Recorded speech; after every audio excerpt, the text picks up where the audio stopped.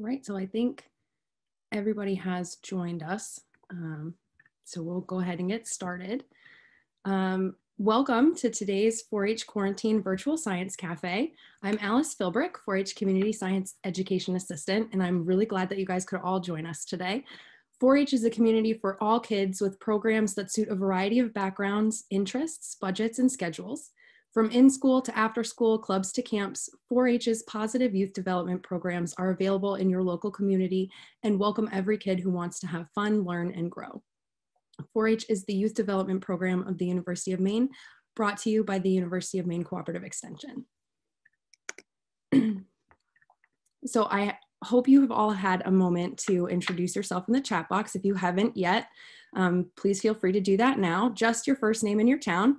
Um, with us from Maine 4-H today, I also have Caitlin Doloff. She's monitoring the chat with us today, and Jesse Brainerd will be handling our Q&A. We're going to keep it pretty simple today. Our guest will share some of his cool research and a bit about himself. We will have plenty of time for you to ask questions. We do ask that you use that Q&A box at the bottom of your screen and Jesse will get those presenters or get those questions to our presenter. Um, a quick reminder for you, we can't see you or hear you, but we do ask that you respond to the polls as much as, as much as you can. Submit your questions through the Q&A box and make sure that you share your reactions and thoughts with us through the chat box. One quick note about chat, we'd love to see your reactions to what our guest is presenting, but please be sure to keep your messages on topic and keep that language clean and appropriate or we will have to turn off that feature and we really don't wanna do that. So it's my pleasure um, to introduce Tom Rounsville. Tom is a molecular diagnostic professional with the University of Maine Cooperative Extension. Uh, Tom, we're so excited that you're here with us today. Will you please tell our participants more about yourself and your work? All right, thank you very much for that introduction. I'm gonna start sharing my screen here. All right. One second. Okay. Can everyone see it all right? I guess you can't really respond. Looks good. Okay. All right. So um, I'm going to be talking about wildlife forensics uh, today. Um, so I'm going to talk a little bit about myself, um, just to give you an introduction about uh, me and what I do, and then sort of talk about wildlife forensics, um, which is a topic that I have experience in, but I don't currently work with it at the moment um, yet, is what I would say. So we'll see what happens in the future. Um, so uh, I am the molecular diagnostic professional with the UMaine Cooperative Extension. Um, so I work at the new diagnostic and research lab based in Orono. There's a picture of our building here. Um, so we have a, a nice building. It's very close to UMaine Orono's campus, um, but it's located off campus. Um, just a picture of uh, what the building looks like. I know the slide says it's a little bit about me, um, but I'm not actually in this picture. Um, that's Dr. Allison Smart working in her lab. Uh, but jokingly, I can say if you look in the very far right of the picture, um, that's a window looking into my office and me sitting at the computer. I didn't realize that this picture existed until pretty recently, so I had a good laugh when I saw myself on it. But this laboratory uh, allows us to work on a lot of different things. Um, in my current position, though, uh, I use molecular biology methods, so DNA genetics, uh, to test ticks for disease-causing organisms like Lyme disease, anaplasmosis, babesiosis, um, things that uh, are very of interest uh, to the public health in Maine. Um, and people can submit ticks to the lab for testing um, through our website.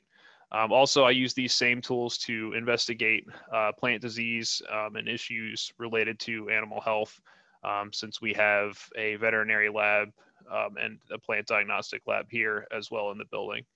Um, so it's uh, a little bit of everything of whatever comes through the door um, at that moment I get to work on. So how did I actually get to where I am now? Well, first things first, I want to say that when I was younger, um, I knew I really just wanted to study animals. Um, I would love going outside and looking at uh, nature and just watching animals just do normal uh, activities in their lives. I was really fascinated by how many different kinds of animals there were and just all their different functions and the way uh, that they lived. Um, so when I was smaller, I used to keep a, a journal of observations of uh, some pet fish that I had. I used to just sit there and stare at the tank with a notebook and just watch them when they would, you know, decide to go to the surface and eat and their interactions with each other. Um, you know, most kids would probably find it really boring to stare at a bunch of fish for you know, hours on end, but I really just loved doing it. Um, and I also would study uh, my pet cat and dog and pretend that they were wildlife subjects that I was trying to learn more about. Um, so one thing I will say though is that um, you know nowadays uh, citizen science or uh, scientific projects that incorporate the use of citizens or people like you um, to actually help collect the data uh, wasn't really available then, but it is now. So if this is uh, something that seems really interesting to you, there's always uh, people out there looking for uh, more eyes to go see what types of animals, maybe birds or mammals, might be seen in certain places. So I highly encourage um, you to look into that if uh, that's something that you're interested in.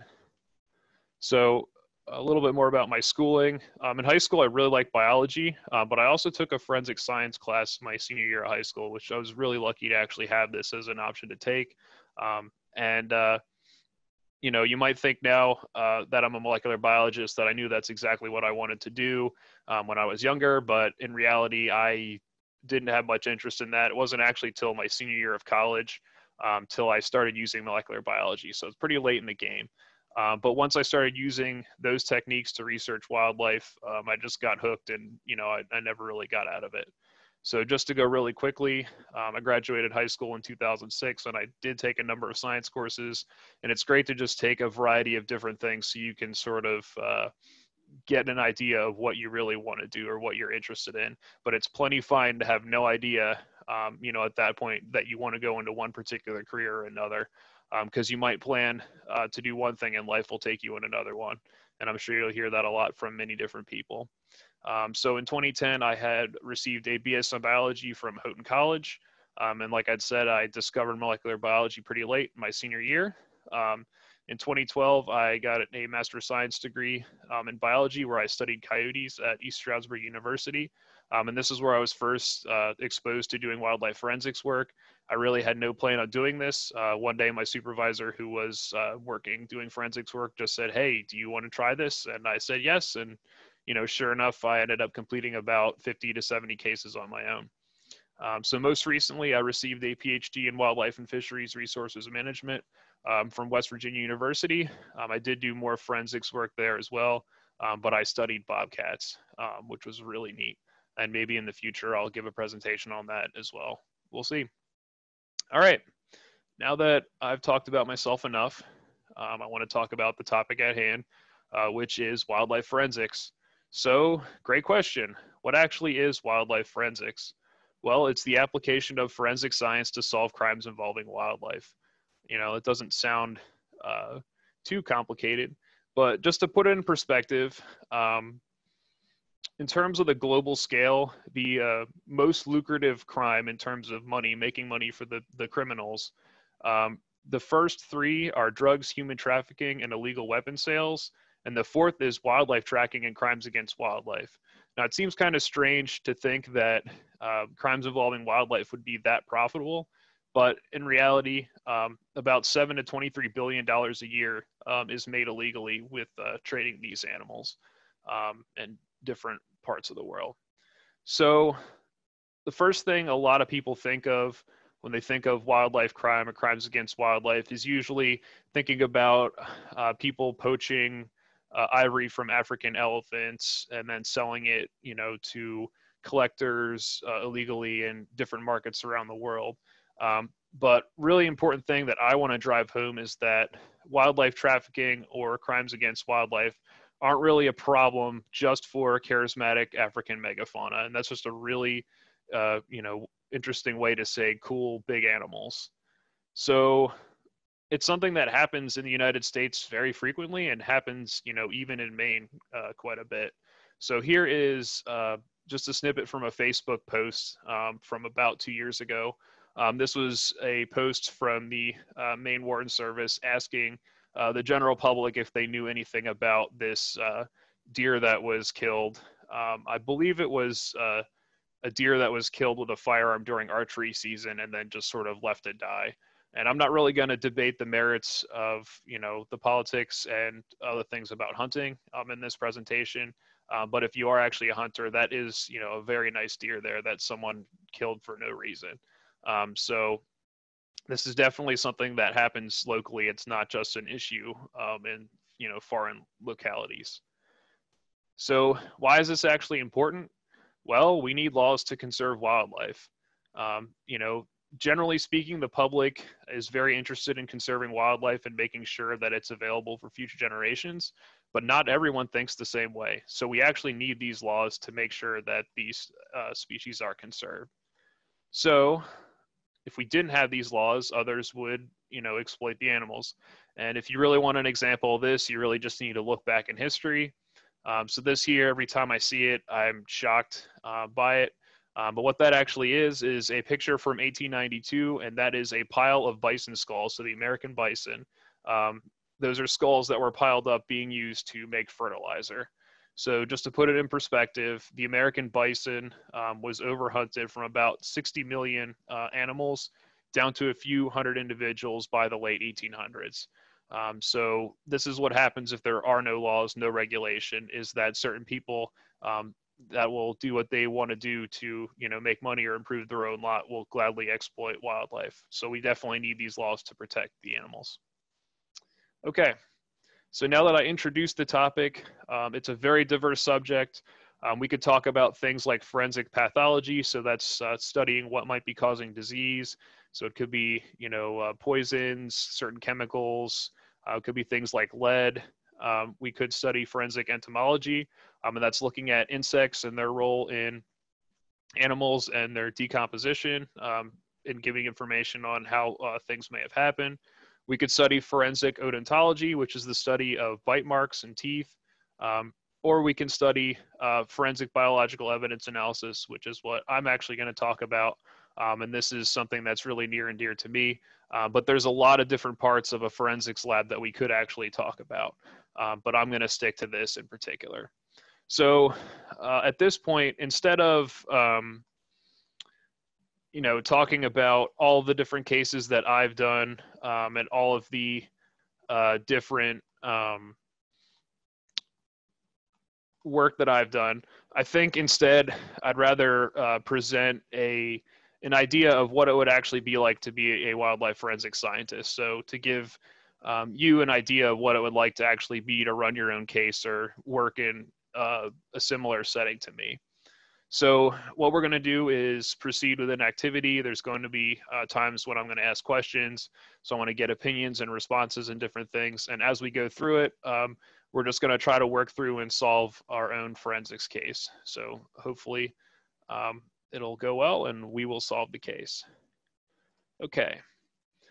So when we're talking about biological evidence analysis, there's two really important questions that, as a scientist, I would get asked um, by someone, uh, say from the Maine Warden Service um, in the field. Uh, the first is what species is it? And the second is, are these two or more parts from the same animal?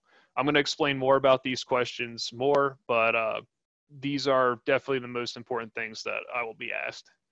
So what species is it? Why is it important? Well, the real answer is that laws protecting species vary greatly. So, for instance, let's take the bald eagle, for example, here. Um, it's protected by a number of federal laws uh, the Migratory Bird Treaty Act, the Lacey Act, and the more recent Eagle Act.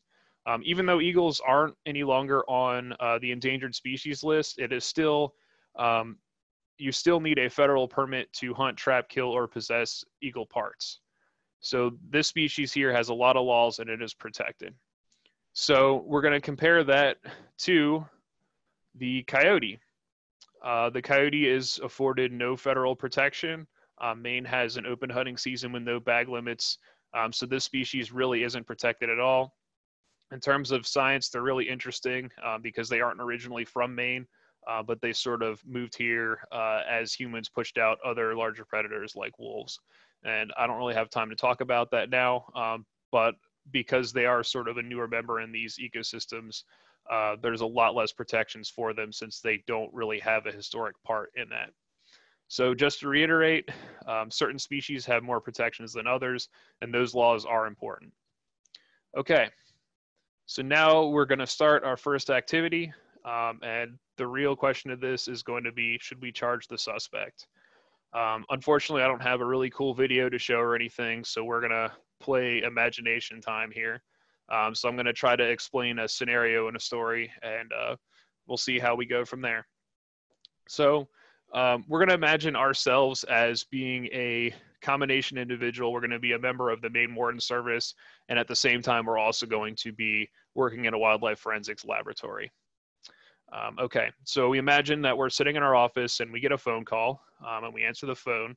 And the person on the other end uh, tells us that while they were out hiking along the shoreline, um, they saw a number of dead bald eagles just sort of washing up in the surf. Um, when they were looking at them, they couldn't really see what happened. Um, they just know that there were a number of bald eagles uh, at this one area just sort of dead. Um, so they were very concerned that, you know, maybe these animals were poisoned, maybe someone was hurting them. They didn't really know. Um, so they wanted uh, someone to come down and take a look and see what was happening. Uh, so what you do then as a member of the warden service is you're going to get in your car and drive to that location and uh, you know get a better idea of why why these eagles um, you know were found dead in the surf. So uh, you arrive on the scene, uh, but as you pull into a parking area um, to this location, uh, you witness someone arriving back to their vehicle um, with a compound bow and holding uh, visibly bloody arrows. Um, when they get back, they proceed to quickly stash their equipment in their truck. Um, and when you walk up to them, uh, they seem really nervous because they recognize your uniform, um, which makes you think that something, you know, might be off with this person. So, you know, just to sort of get some information, you ask to see their hunting license, which they then give you. Um, so then you record their personal information in your notebook just in case you need to do an investigation later. Because remember, you're here looking for, you know, what might be causing uh, these eagles to have been killed. Um, so when you're going over their information, you just ask them about how their hunt was, because um, you notice that they had freshly bloody arrows, but they weren't carrying an animal carcass out and they didn't have one in their vehicle. Um, so the person just seemed really nervous. And then they responded uh, that they were just hunting coyotes. Um, then you ask them some more questions, but they, you know, kind of dodge what you're asking them and seem kind of nervous and then ask if it's okay for them to leave. So, as I said, uh, I was just hunting coyotes. So now we're going to open up our first question here. And can you charge the suspect with a crime? So we're just going to take a, a moment here um, to let everyone respond. And once we get the answers, then um, you know, if you want to type why you think yes or no, you can go ahead in the uh, question box and go ahead and do that in the Q&A. So we'll just take, uh, I don't know, 30 seconds or so. Tom, are you able to see the answers as they come in? Um, I just see the poll box up at the moment. Okay. Looks like we're waiting for a couple more votes and I'll end the poll in another couple seconds. Okay.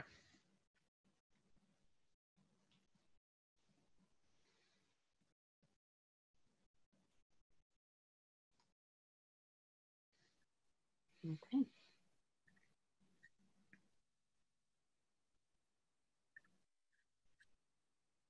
Okay, wow, look at that. Eight people say no. Did anyone respond in the Q&A box? Not for that one. Nope, not yet. Okay. Anyone care to say why not?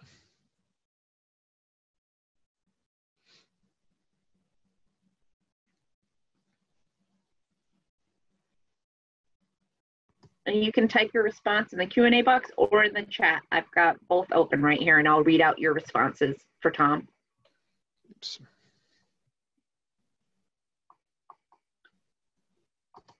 Oh, it looks like we have um, we have a couple of different responses, and they're both pretty much the same. One person said, "You have no proof that they killed the eagles," and another says, "Because you don't have evidence."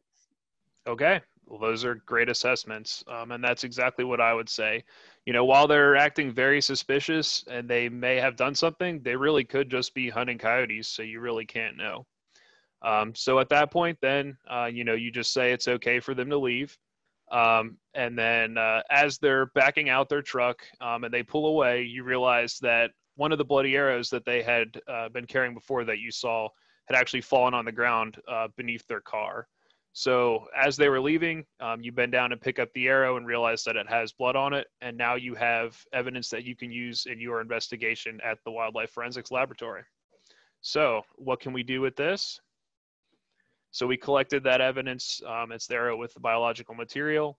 Um, so if we were to get an arrow at the laboratory, um, there's multiple ways that you can look at it to collect um, some material you can use in your analysis. Um, underneath the actual broadhead itself where it screws into the arrow shaft. Um, when you take that out, some of the tissue of uh, an animal, if it was fired into them, will actually be stuck in there, which you can use then for genetic material. Um, or in this case, the arrow shaft itself would be coated in blood. Um, on the right, you can see uh, the fletchings, the uh, green parts of the arrow that stabilize it in flight have some uh, blood stain on that. All right, so now we've collected some biological material. Um, so what do we do with that? Well, we're going to do DNA analysis. And this is a really complicated topic.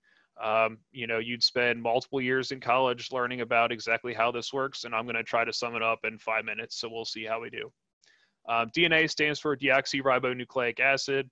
Uh, some people call it genetic material. Um, and these are the instructions of how to make a plant, animal, fungus, etc. Um, DNA is conserved across species, which is pretty neat. Um, that you know the same instructions are in bacteria, animals, plants, etc. Um, DNA is usually viewed in the double helix, which you see on the right of the page here. Generally speaking, uh, it's made up of four dinucleotide triphosphates. Uh, we abbreviate that DNTPs. Um, they are adenine, which we abbreviate with an A, thymine, which is a T, cytosine, which is a C, and guanine, which is a G. So overall in your body, um, you have about well, in each cell of your body, you have about 3 billion ACs, Ts, and Gs that have the entire instructions of how to make you. Um, kind of like I just said, your complete genetic code is found in virtually every cell of your body. So every single cell has all the information to make another you, which is pretty interesting. So the order of the ACs, Ts, and Gs um, is unique for each individual, um, except for identical twins. Um, and they'll have the, the same genetic code. Um, uh, while similar species have similar DNA sequences, others don't. So, for instance, eagles are going to share more DNA sequences with other birds. Things like birds have feathers and wings, those are more similar um, than mammals like coyotes. So, what we would think is if we ran a DNA sequence analysis, that the eagle DNA would be more similar um, to other eagles than it would be to mammals. So, now what? All right, uh, this is what's called an electropherogram. I wanted to give you an idea of what it actually looks like when you produce a DNA sequence. Um, you'll notice here that there's a number of very colorful peaks going across the screen. Um, each peak, uh, different color, it stands for a different base. So if you look from one of the peaks up to the top of the, the screen, you'll see a series of ACs, Ts, and Gs, and that's just indicating what the sequence is uh, as it comes across to me. So this is what I would get out of my DNA sequencer when I run a sample. Um, and then what we actually do from that is create a sequence alignment. So here's the sequence alignment that we've created. So we took the material from the arrow um, and we ran that for this analysis. We also have a DNA from a known eagle um, that we had at the laboratory, and we also have DNA from a known coyote sample that we had in the laboratory. So if I were generating these sequences uh, for these two different DNA fragments, I would sit down and take a look at them um, and try to determine whether or not the sample from the arrow is more similar genetically to the eagle sample or the coyote sample, and then sort of go from there. So at this point, what I want to do is provide, uh, you know, not that much more information because I kind of want to see how you want to decipher this. Um, so at this point, I kind of want to ask the question of can we then charge the suspect for hunting eagles? And now to make this easier for um, everyone to, to go through the analysis, um, I added some line bars here so you can see, uh, you know, which ones are separate to make the comparisons. So what I'd like you to do is take, you know, a minute or two and go through and count up how many differences there are between the arrow and the eagle sequence and the arrow and the coyote sequence, and then go ahead and answer whether or not you would charge the suspect for hunting eagles and at any time too if you have questions you can put them in the q&a box um, or if you want to share an opinion you can also do that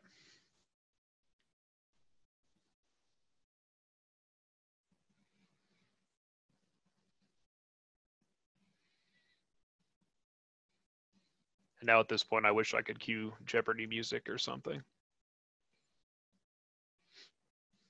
I should look into getting some music for poll questions. Uh, we're, we're about 80% responded right now.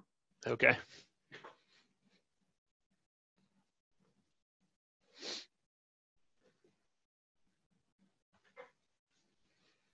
I'll give it about 10 more seconds.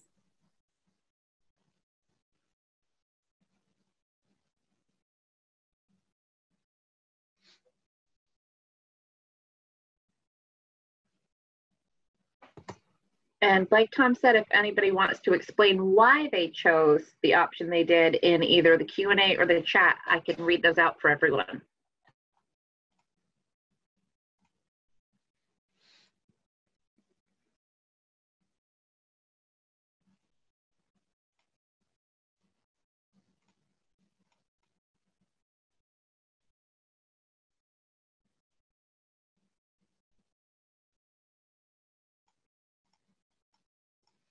All right, well, we have our responses in. Overwhelmingly, it looks like yes is the answer. I think I have, the next slide was to look at the poll. Yep. Okay, um, so just to go over, um, oops, we have here, um, the easiest way to look at similarities and differences would be to uh, just change the color. Um, so as you go across the sequence for each individual going across the row, um, you can count up the differences between that row and any other row. Um, so here in green, I've highlighted the differences between the arrow sequence and the eagle sequence, and in red, the ones between the arrow and the coyote sequence. So if we go through and count them all up, we've discovered that there are a total of two differences between the arrow and the eagle sequence and nine differences between the arrow and the coyote.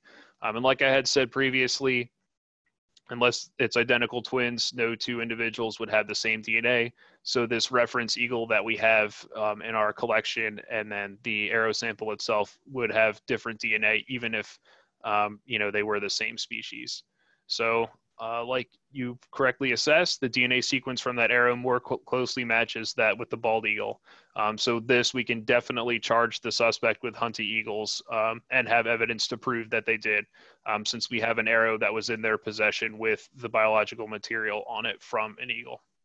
We did in the Q&A, we had someone who explained the reason they chose yes was because the blood on the arrow is closer to the blood of an eagle than the blood of a coyote. Correct. That's a great assessment. So now we're going to ask another question. So can we then charge the suspect with killing the eagles that were found dead and floating in the ocean? So again, a yes or no question. And if you have an answer as to why, um, please share it in the Q&A box.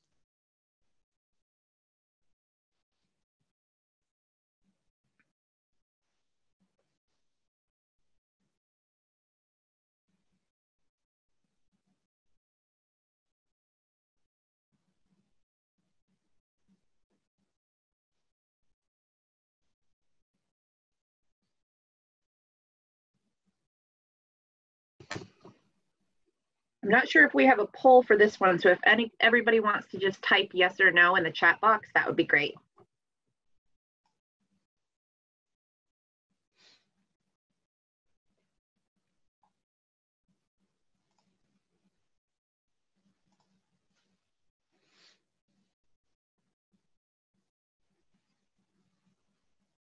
Anyone else care to answer? We only have um, one. I I did get um, one yes in the Q and A uh, because, and they said because you have enough evidence, and then we've got uh, two no's and two yeses in the chat box so far. One of the no's is because the eagles in the ocean might have been from somewhere else, and the other is because you don't know if those were the eagles that were killed. Okay. Well, at this point, uh, the best way to put it is that you have very strong suspicions that those are the eagles that were killed that were floating in the ocean were the ones that were killed by this individual. Um, but unfortunately, you don't actually have enough evidence to prove it. So at this point, we're going to do some additional analysis um, to figure that out. So now we're going to answer that second important question um, that I brought up at the beginning, which was, are these two or more animal or two or more parts from the same animal? Um, this is a really important question for us to be able to answer. So we're going to use DNA fingerprinting, um, microsatellite genotyping. It's the method that this is called. Um, was developed in the 1980s and 90s as a way to genetically tell apart individuals. Um, this is the same technique that's used in a wildlife lab as would be used in a human crime lab. Um, we're just applying it to wildlife instead of people.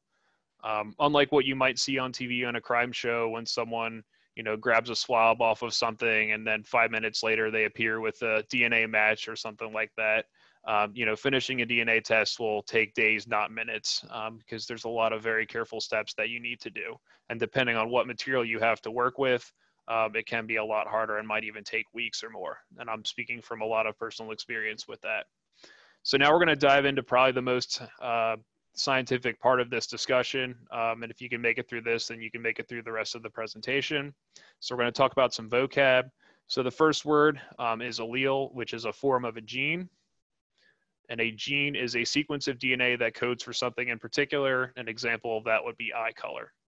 So we also have a genotype, which is a combination of alleles at a gene. So you have a gene which codes for something. There are alleles which are different forms of that gene, and a genotype is the combination of alleles that a particular individual, whether it be a human or an eagle, has at that location. So people and eagles and coyotes have two copies of each gene, which are, again, alleles, one inherited from their mother and one from their father. And these alleles can be the same, which is called homozygous or different heterozygous. And this is important to actually go into looking at matching individuals. So different, in, ah, excuse me, different alleles have different size DNA fragments. So if we take DNA and then separate it out by size, um, you can tell individuals apart from another. So what I have on the screen here is an electropherogram. Um, that's the output that I would see again from the genetic analyzer. Um, this is a particular location in the genome that I've amplified. Um, and what it does is it creates peaks on the machine that you see when you run the sample. So across the bottom, uh, that is the size and base pairs, so the number of ACs, Ts, and Gs um, that make up that particular allele. And when you see the peaks on, in the green, um, those indicate how much of DNA there was at that particular size. So you'll notice how there's sort of uh, three peaks and then it drops off to nothing and then three peaks again. Um, what that is is just a type of mutation that we see called mutation stutter. I don't really have a time to explain it, um, but more or less, if you just draw sort of like a larger blue um, peak over the entire thing, which I have there at the highest point, that's what you would call the genotype for that. So this individual here is a heterozygote. They have two different alleles at this particular gene, and the genotype that we would write down on our analysis sheet would be 104, 116, um, because they have those two different alleles, and that's at that location that it was the largest amount of detection. So this is in direct comparison uh, to a homozygote. This would be on your analysis, you would only see one particular peak, and that just means that they have two copies of that same exact allele because um, they're just sort of overlapping on each other. So this individual's genotype would then be a 114, 114. So I know that's a lot to sort of take in, uh, but now we're going to try and use it and uh, see what happens. So combining multiple loci, so multiple locations or genes that we're amplifying, you can create a DNA profile um, that would be then unique to the individual and allow you to tell individuals apart. So let's go ahead and try it out on the eagle samples and see if we can then charge the suspect with killing the dead eagles that uh, we found in the, surf. Okay, so from our sampling here, we have uh, generated genotype profiles for uh, the arrow and then for three different eagle carcasses that we had found in the surf. So now what we want to do is create our genotype profiles um, and like I had said previously, you want to look for the highest part of the peak, and that would be the actual genotype for that individual. So you'll notice that the arrow has three peaks, which is interesting because I had just said previously that you will find two alleles per individual. Sometimes it'll be two copies of the same one or two different ones. So what do we actually think we're seeing here? So go ahead and take a moment and think about it and uh, go ahead and type it in the chat box. Or Q&A box, I guess.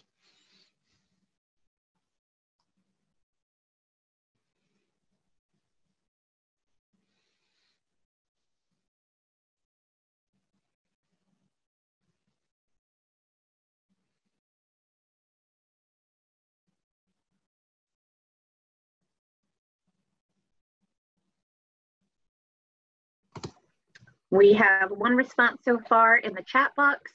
Um, the suggestion is that that's the genotypes of three different eagles. Well, that's a great suggestion, and that's exactly what we're seeing. Yep.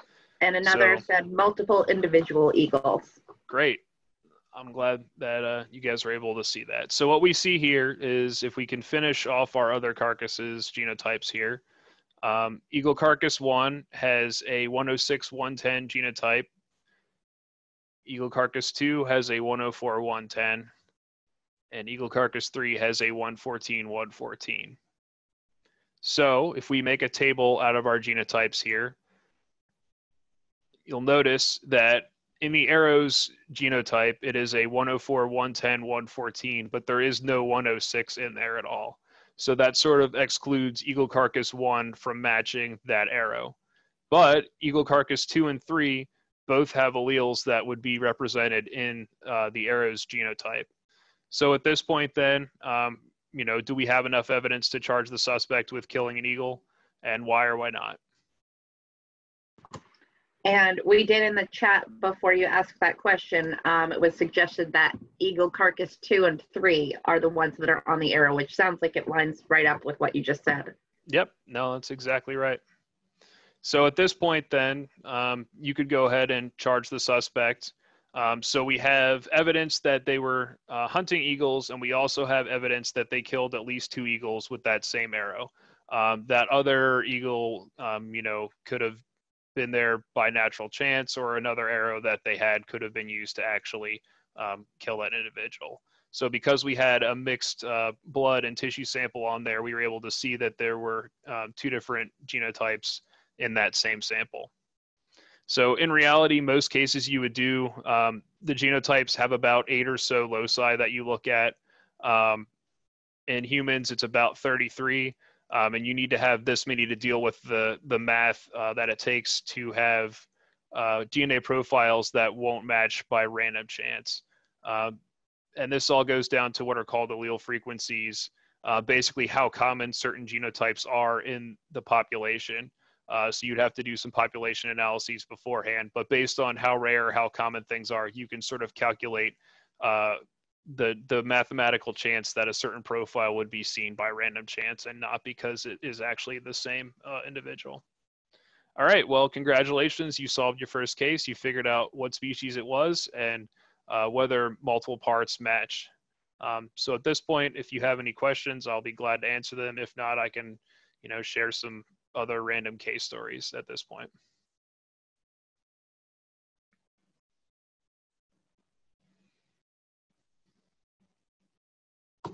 And feel free to put those questions in the Q&A box or in the chat and I can read them out loud for you.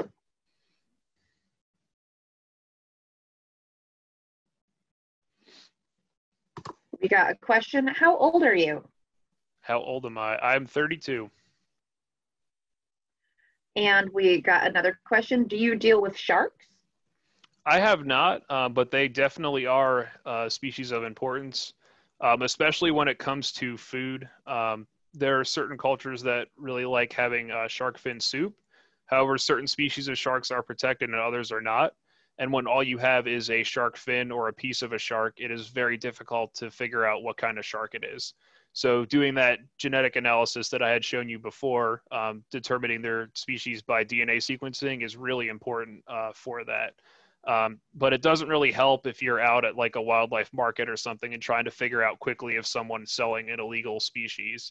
Um, so there are some people who are working on developing uh, fast tests that you can then use to determine whether or not a, a species of shark that's being sold is something that is illegal to sell. Um, so in the future, that might be something you know that we might look into here as well. Um, we had the question, was this a real case? Um, no, this one was not a real case, but it's very similar to real cases. Um, those uh, pictures I had shown of that bloody arrow were from a real case, um, but that was a, a deer hunting case uh, that I had done. So it's it's Um, a frequent sample that you have to deal with is uh, those kind of things. Sorry about that. Uh, what is Yep. the craziest case you have done? the craziest case. Um, hmm. Well, I think the craziest case I've done is very similar to what I just described, where I had a sample of mixed uh, biological material. Um, trying to think about how to best preface the story. So there were a number of individuals who had been known in their local community to be poaching deer, um, and the people in the community knew it was them, but they couldn't really prove it. So they eventually found a chance when they were uh, hunting deer and I think it was like June, June or July, um, so way out of season, um, and they were able to uh, call the game commission, which this was in Pennsylvania, um, out to the location. Um, and when they arrived, uh, they noticed there was at least five or six deer hanging in this uh, barn that these individuals had, um, and they were all, um, you know, in a location where they would bleed into like a, a puddle on the floor, which sounds kind of gruesome, but that's what was happening. Um, and based on the the puddle on the floor, the officers had figured that there were more deer that were actually uh, killed and bled into this puddle. So I was basically given a sample of blood scrapings off the floor of a barn and asked how many deer bled into that that pile. Um, and it turned out being like 13 or 14. It was a rather high number. That's awful. Um, we have another question. How would you figure out who killed the animal if they'd used a gun rather than an arrow? Uh, well, thankfully, guns are pretty messy. Um, if you find the spot where they actually shot the animal, you would find uh, blood on a tree or somewhere else um, at that point. Uh, but it is harder to connect that individual with that particular crime if they had used a gun. But with good enough, you know, police work, you could still find that evidence. It's going to be there. All right. Um, next question is, what's the main species that you study? Uh, I would say for forensics cases, it's probably white-tailed deer. Um, they are a species of high value. Um, there's a lot of economic impact of, um, you know, hunting, especially in Maine, where people from other locations will come to hunt the deer. Um, but as many laws as there are about how you can hunt and when you can hunt, um, you know, there will be people that will choose to hunt in ways that are illegal in order to gain an advantage um, in some way. Uh, so I would say that's probably the most common.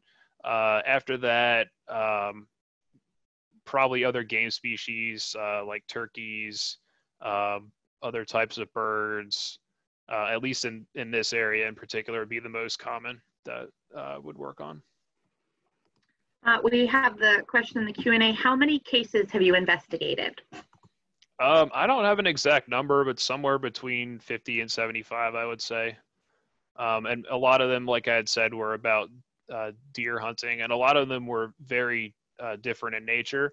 And some of them are um, more related to food, like I had mentioned about the sharks. Um, in uh, Pennsylvania, where I had been doing this work before, uh, some uh, butchers will process deer that people hunt, and I'm sure it happens uh, in Maine as well. Uh, but there's certain parts of the deer that are left over that those people don't actually want to pick up. Um, so less, uh, you know, ethical uh, butchers will take some of that deer meat and combine it with some beef that they have, and then sell it as like a beef hamburger or something like that to sort of save some money. Um, but you know, you can't sell. It's illegal to sell food that's you know not what you say it is. Um, so we were able to actually test those meats to prove that there was deer meat in what they had said was actually beef. Um, and this is actually pretty common. Um, we we got tipped off by uh, a person who's allergic to eating deer meat but not beef, and they ate meat from a certain location and they they got sick. And that's exactly what we want to avoid uh, by having people eating things that isn't what uh, you know the person selling it says it is. All right, we have a few that I think I can put together. Um, we have, what's your job called? Do you like your job? And how long have you been doing this for? And how many cases would you say you've solved? Okay. Uh, right now, I'm a molecular diagnostic professional um, with UMaine Extension. I've been in this job just over two years. At the current moment, I don't do wildlife forensics right now, um, but I would in the future like to do that. Uh, UMaine's looking into it as a possibility. Uh, we definitely have the capability over here to do that.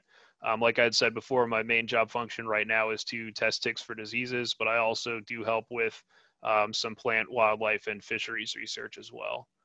Um, and do I like my job? Yes, I very much like my job. Um, I would like to get outside a little more than I do, um, but we still get to do field work on occasion. But a lot of the time it's spent working in a molecular laboratory. And I think, did I answer all those parts? You did. I was like, I figured that do you like it was probably going to be an easy one. Okay. Um, then we have the question Have you ever done any real cases before with eagles? Um, I'm trying to think. I don't, I'm not sure that I have in particular. Um, and then what's the biggest animal that you've had a case on? I would say bears, definitely bears. Um, black bears, especially in certain locations when they feed off of uh, human garbage, can you know be five or six hundred pounds. Just monster creatures. And I'm sure if you know if I was doing work in Maine at the moment, it would be moose. I would say. It looks like let's give folks a couple more minutes if anyone can think of any more questions they have about wildlife forensics or the other work that um, that Tom does. Pop it right in the Q and A or the chat. I think what I'm going to say is take a moment and answer the question that no one asked, and is how do you get into wildlife forensics? Um, because it's a pretty specialized field. Um, what I would say is um, you know, take a number of biology uh, classes in high school. Um, when you finish, enroll in a four-year university and study uh, biology, uh, but you want to have experience with wildlife, but also with things like organic chemistry, chemistry, and molecular biology. So it's kind of like uh, a background in multiple things. But also, you know, what I'm doing is only one particular aspect of wildlife forensics. You could be someone who's, you know, for instance, really interested in physics and firearms, and you could study, um, you know, projectiles and how different projectiles would impact different wildlife differently and solve crimes that way. It's not just DNA analysis. This is just a piece of the whole puzzle. You could be fascinated in wildlife disease and study, you know, being able to prove that certain people poisoned animals or something like that. Um, so by no means it's not just you know limited to DNA analysis. Um, so I would definitely say you know when you're at university um, to sort of talk to you know your advisors and things like that and tell them what you're interested in doing and they'll sort of guide you um, in different ways. So don't be afraid to ask what else you can do or what more work you can do. Um, because they'll kind of rope you into these side projects that end up becoming your career, which you never even thought would happen, which happened with me with uh, wildlife forensics. And we actually had two people almost simultaneously ask, What is the smallest animal you've ever done a case on? The Smallest animal.